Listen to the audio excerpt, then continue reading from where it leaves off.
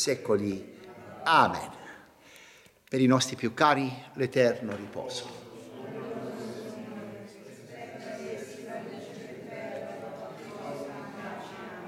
Nel nome del Padre, del Figlio e dello Spirito Santo.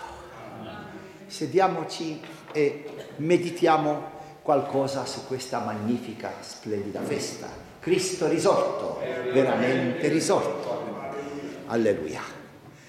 Dunque, la risurrezione, la più grande gloria, il più grande miracolo che poteva darci Dio di rifarci la vita, non solo per un, pe- per un pezzo di tempo, per l'eternità.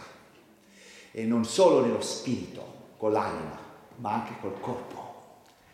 Corpo eterno, immortale, beatificato, glorificato, splendido per chi lo ama. Con la speranza, grande speranza, che nessuno fra i nostri non sia da par- dalla parte dei dannati. Perché c'è anche questo pericolo che quando risorgeremo tutti alla risurrezione generale, qualcuno si trovi dalla parte sinistra della, del trono di Dio dove c'è la condanna eterna, dove, dove la risurrezione, il corpo risorto è un corpo spaventoso, che solamente, que, solamente questo corpo spaventoso è capace di darti eh, un'eternità di dolore e di sofferenza a parte tutto il resto.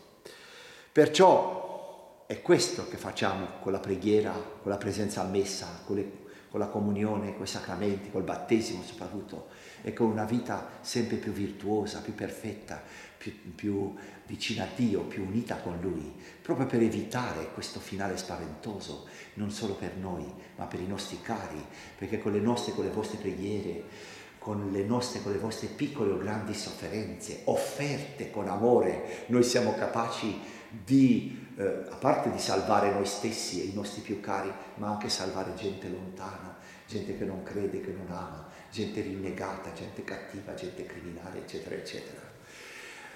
Questa è una certezza assoluta per cui in giorno di Pasqua ancora una volta dobbiamo imparare a non lamentarci per le piccole o le grandi sofferenze che abbiamo nella nostra vita, o il fatto di avere una persona malata in casa, di tenerla, di curarla, è difficile, è pesante, ma è meritorio. Che miracolo! Che amore di Dio, deve, che, che amore deve aver, deve aver avuto Dio per queste persone che hanno queste situazioni spaventose qualche volta in casa, ma che merito, che paradiso senza purgatorio che avranno, se non si lamentano se la offrono con amore, questa sofferenza. Però io adesso mi vorrei, proprio il giorno di Pasqua, quando si parla di risurrezione, di gloria, di splendore, di eternità, di certezza, del fatto che solo Gesù Cristo, il vero Dio, ha potuto dare al mondo una cosa simile, cioè la risurrezione, il rifare la vita, il ricostruire tutto da capo in un modo meraviglioso ma di questo siamo consci e consapevoli, siamo a conoscenza solo noi, i cristiani. Questa è una grazia in più, un privilegio immeritato, perché gli altri non lo sono, musulmani, ebrei, pagani, atei, lo conoscono questo mistero, non lo credono, che è una brutta cosa questa, non sapere cosa ti aspetta, mentre noi lo sappiamo. Bene, proprio in questo in questa atmosfera di splendore di vittoria e di felicità, mi vorrei fermare con voi su questa seconda lettura che, abbia, che la Chiesa propone dalla lettera di San Paolo Apostolo ai Colossesi. Una frase che ci deve far pensare in una maniera molto, molto strana, ecco, originale, se non volete dire profonda. Ed è perché proprio eh, perché è proclamata proprio il giorno di oggi. Ecco, ricordiamola, dice fratelli, se siete risorti con Gesù Cristo, cercate le cose di lassù. È chiaro, fin qui tutto a posto. Dove è Cristo seduto alla destra di Dio. D'accordo? Poi dice, rivolgete il pensiero alle cose di lassù, non a quelle della terra. Eh, ancora una volta, fin qui tutto perfetto, normale, l'abbiamo sempre sentita questa cosa ed è una buona cosa, dobbiamo farla. Ma adesso arriva un'informazione molto strana. Voi infatti siete morti. Interessante. Poi ti spiega per come e dice e la vostra vita è nascosta con Cristo in Dio. Va bene, dove è nascosta è meno importante. È importante che siamo morti. Si capisce chi non vuole approfondire questo dirà va bene, ma è un discorso tutto simbolico. D'accordo? Ancora una volta, tutte le parole della Sacra Bibbia sono anche simboliche, ma prima di essere simboliche, tutte, ma assolutamente tutte le parole della Sacra Bibbia sono, hanno un, una realtà fisica, reale, immediata. Dopodiché spieghi anche quell'altra parte simbolica, come ti pare. Dunque siamo morti. Che vuol dire? Eh, è esaltante poi se ci pensi.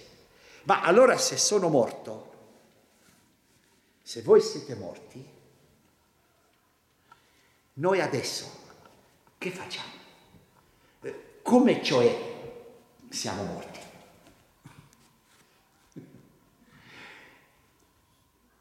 Ecco, ciò che stiamo vivendo adesso è finito miliardi e miliardi e miliardi di anni fa.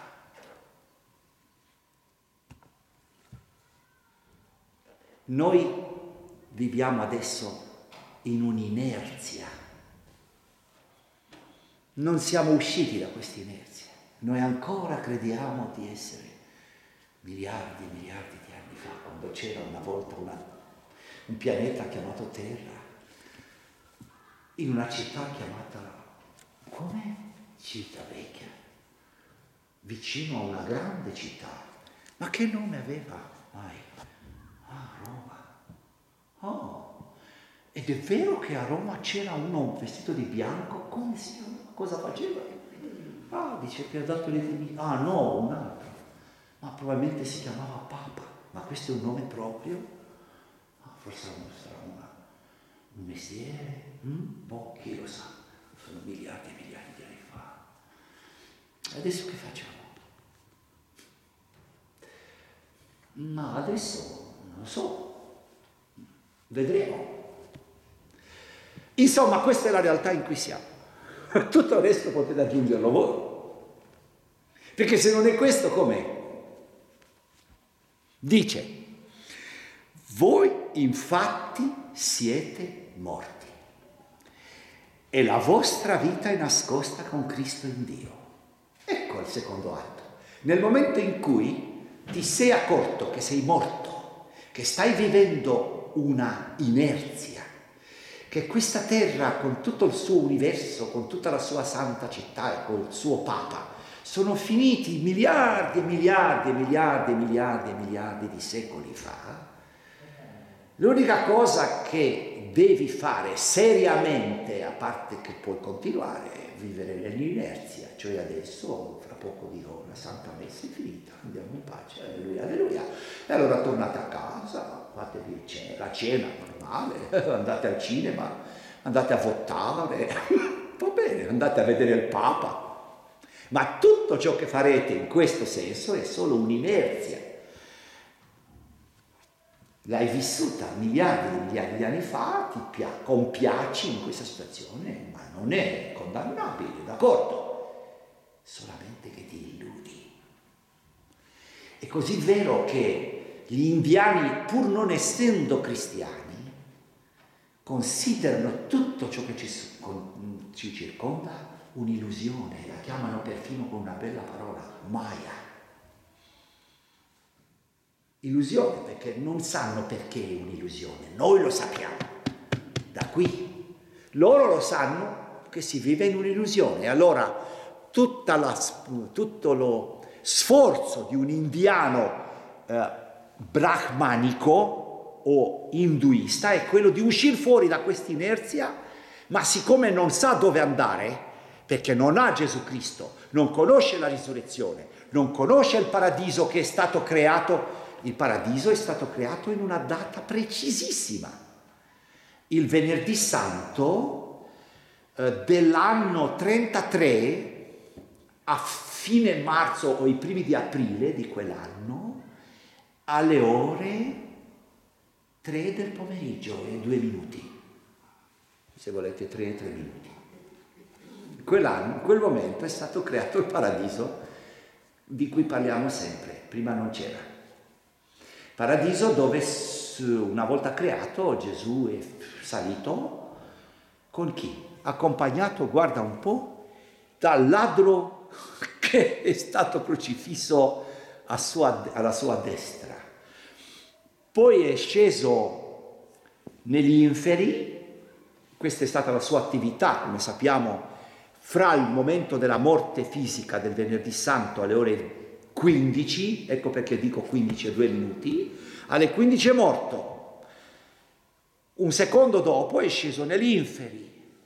Nel scendere negli inferi creava il paradiso perché svuotava questi inferi da tutti i nostri antenati, da Adamo e Eva, a Abramo, a Mosè, a tutti i profeti, agli antichi saggi, anche delle altre culture, Socrate, Platone, l'abbiamo detto, Cicerone, o che so io, Buddha, o Lao Tse, Confucio, tutti sono stati salvati in quel momento e poi tutti questi, insieme al ladro sulla croce, a San Giovanni Battista, che pure lui stava negli inferi, sono saliti in paradiso che lui ha creato qualche minuto prima. E da allora stanno lì. Ma non stanno per sempre, perché questa, questo paradiso spirituale è provvisorio. È provvisorio come anche l'inferno spirituale in cui spero che non sono caduti molti, ma comunque saranno caduti, sarà caduto qualcuno. Comunque anch'esso è provvisorio, perché deve arrivare, come abbiamo saputo, come sappiamo sempre da Gesù, la risurrezione finale, con la risurrezione finale le anime si uniscono ai corpi il paradiso spirituale si unisce al paradiso terrestre che sarà rifatto e allora non la terra, tutto l'universo, anche le più sconosciute eh, terre e galassie saranno la nostra proprietà privata. Questa, questo che ci aspetta. Ma siccome questo l'indiano non lo sa, queste sono informazioni puramente di Gesù Cristo, cioè cristiane, lui sa però che viviamo nell'inerzia della vita, che tutto ciò che io tocco, tutto ciò che mangio, tutto ciò che vedo non è vero, che è un'illusione. E questo è vero. E allora tenta di uscire fuori e dove deve finire? Nel nirvana, come sappiamo. Nirvana è uno stato di non essere, perché lui non arriva con la testa altrove, non sa che esiste il paradiso non sa che c'è Gesù Cristo, non sa che questo nirvana esiste davvero, ma è solamente un passaggio fra questo mondo di inerzia in cui viviamo e quello reale che è il mondo di Gesù. E lui si ferma nel nirvana. Nel momento in cui un indiano legge il Vangelo, c'è qualche prete che glielo spiega e qui poi riceve la grazia della fede, lui capisce ancora meglio di noi perché è già preparato, capite, a questa conoscenza, allora, oh, ecco dove dovevamo finire. Che, che, io con la mia religione cristiana non nego il fatto che noi viviamo nel nulla, nell'inerzia. Ma cosa strana, il indiano, anche se non sa il secondo atto, però è convinto e consapevole del primo. Mentre cristiano cattolico, forse neppure voi tutti, non siete così convinti che ciò che viviamo è un'inerzia di una cosa mai da molto tempo finita. Vero? Vedi come siamo strani tutti noi? Come siamo strani. Dunque il cattolico che sa la verità, però questa frase non l'ha mai letta o la legge dice ma un simbolo, boh, voi siete morti, ma fatemi piacere. Ho predicato questa cosa, mi ricordo, in una chiesa dove ero adorato dalla popolazione non qui. Però anche qui c'è, c'è stato, ma vi dico subito anche dove, in Romania in una città chiamata Lugos, che veniva la gente anche da lontano per sentirmi parlare, mi adoravano, ero una persona amata, tutta la città mi salutava, ero nella mia gloria, insomma. Un giorno di Pasqua, non proprio di domenica, domani, cioè lunedì, mi sono messo a predicare questa cosa, esattamente questa. Da quel momento si sono alzati, non sono più venuti in chiesa, hanno dato così una parola in tutta la città, che io sono un uomo pazzo, che dico solo stupidaggini, che la messa non si deve più venire. No, è possibile che dica una cosa, ma perché il vescovo ne lo permette? Dunque, sette anni sono stato adorato. Mi è bastata questa predica, questa. Forse l'ho detta anche, non lo so. Certo, non sono più andato lì. Ah, mi diverte la situazione, però il fatto è che sono rimasti scandalizzati. Per me ancora io sono scandalizzato. Perché loro sono rimasti scandalizzati di una cosa che un indiano, che non è cristiano, lo capisce subito, l'ha sempre capito. E poi tu non ti perdi nulla perché io ti insegno cosa fare veramente. Devi uscire fuori da questa inerzia, ma non devi andare nel nirvana, cioè come l'indiano, nel, nel non essere. Ti insegna, dice, uh, e la vostra vita è nascosta con Cristo in Dio. Dunque ti dedichi a questa tua vita nascosta con Cristo in Dio ti dedichi a Gesù Cristo. Relativizzi tutta la tua realtà di qui, che sai che già è un'inerzia, dunque arrivi esattamente a ciò che il cristianesimo è sempre arrivato, cioè disprezza un po' la realtà della terra, i dolori, i piaceri, sono relativi qui, perché siamo di passaggio, non solo che siamo di passaggio, ma è già finita. E la mia preoccupazione è di conoscere Gesù Cristo, di conoscere il cielo, di conoscere i santi, di conoscere la Maria Santissima, che vivono già nella realtà della, della divinità, già sono risorti. Per questo si permettono anche il lusso di venire ogni tanto, di mandare messaggi sulla terra, di far piangere un'icona, una statua, di fare un miracolo a Lourdes, di aiutare un medico a salvare la vita di uno, di un avvocato, insomma loro già vivono la vita piena e anche tu fai così, la stessa cosa. Relativizzi, perciò anche la tua vita sarà più facile. Così tu quando hai, ripeto e concludo, quando hai una sofferenza in famiglia, sì, è grande, è grande, però la offri perché sai che è già passata. Occuparti di tua madre molto malata o di tua figlia, di tuo figlio è una cosa che hai fatto miliardi di anni fa. Non lamentarti. Offrila con gioia, perché è già questo, cioè vedendola, si chiama questo modo di vedere le cose come se fossero passate, ma in realtà sono passate, si chiama nella teologia subspecie eternitatis, cioè ti sali sopra e vedi, vedi dall'alto tutto quanto come una cosa passata. E allora è più facile, ma è giusto che sia così. È facile offrire, accettare tutto, perché sai non solamente che è meritorio, che avrai il paradiso, che sarai risorto, ma che vivi in un'inerzia, se sei una persona seria, se hai la grazia di capire questo, di avere cioè la, la, la, la virtù chiamata lucidità, allora tu esci fuori da questa inerzia e vivi spensierato. Re, ripeto, relativizzi le sofferenze, i dolori, ma anche le gioie, perché sei già risolto. E la tua vita è nascosta con Gesù Cristo in Dio, è nascosta tuoi, davanti ai tuoi occhi davanti agli altri, ma comunque non molto nascosta, perché col sacramento tu puoi avere delle visioni.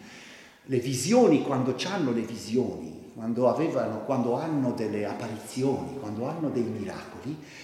Perché? Perché tutte queste persone vivono nel futuro, non vivono nel passato e tantomeno nel presente. E poi quando Gesù Cristo, nostra vita, sarà manifestata, sarà manifestato, dice ancora, ancora, allora anche voi apparirete con Lui nella gloria. Ecco, l'unica cosa futura è questa, che finisca questa inerzia e tu risorto dai morti sarai vittorioso nei secoli dei secoli. Amen. Grazie per la vostra attenzione spero che non mi farete la figura dei fedeli di Lugos. Cristo risorto. Preghiera finale.